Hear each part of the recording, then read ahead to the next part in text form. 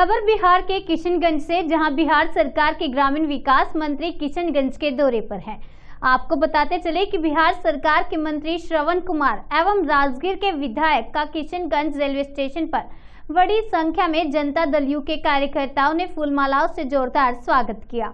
तो वहीं मंत्री जी से किशनगंज दौरे की खास वजह क्या है, पूछा गया। तो पूछने पर बताया कि किशनगंज बिहार है और बिहार अपना घर है। किशनगंज आते जाते रहते हैं। आगे मंत्री जी ने कहा कि मेरे पास ग्रामीण विकास विभाग है। ग्रामीण क्षेत्रों का दौरा कर जानकारी प्राप्त करते हैं कि क्या क्या कमी है और क्या हो रहा है। वैसे आज सरदार पटेल की जयंती है इस मौके पर हमें कार्यक्रम में शामिल होना है।